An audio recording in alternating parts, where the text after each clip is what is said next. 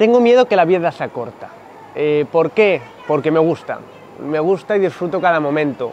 No porque sea bueno en algo, sino porque me gusta disfrutarlo con mis amigos, me gusta disfrutar con lo que hago. Eh, siempre intento sacar la mejor, algo más positivo de las cosas.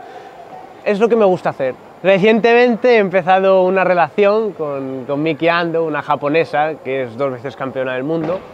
Eh, ha sido muy reciente, vamos, la verdad es que tenemos alguna complicación, ¿no? Porque ella vive en Japón y yo vivo en Toronto, eh, pero en principio nos vamos a ir viendo muy a menudo y tengo que decir que sí que estoy enamorado.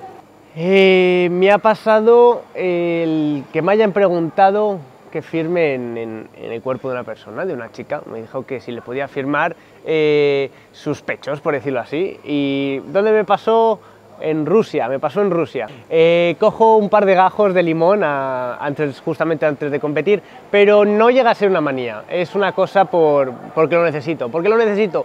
Porque cuando yo voy a hacer el programa, como, patino, como el patinaje tiene velocidad y los nervios que tenemos, mm, por alguna razón, a mí me hacen que, mi boca se, me seca y, y la garganta también, entonces el limón, como es muy fuerte, hace que la garganta no se me llegue a secar, porque estás salivando durante mucho más tiempo. Cuando ves a la gente que se está animando cuando haces tus programas, cuando haces tus coreografías, o que empiezan a aplaudir en mitad del programa, o siguen un ritmo, eso quiere decir que están disfrutando, de, lo de hagas lo que hagas, ellos disfrutan porque se lo están pasando bien, se están animando. Si me ofrecieran que me cambiase de país, yo siempre diría que no. ¿Y el por qué? Porque yo hago esto por mí y por mi país, porque mi país esté orgulloso de mí. Yo he vivido aquí, he nacido aquí y tengo todo aquí. Yo nunca sería capaz de cambiarme a otro país aunque me diesen más facilidades o más dinero. Para mí lo importante es hacer que mi país esté orgulloso de mí también.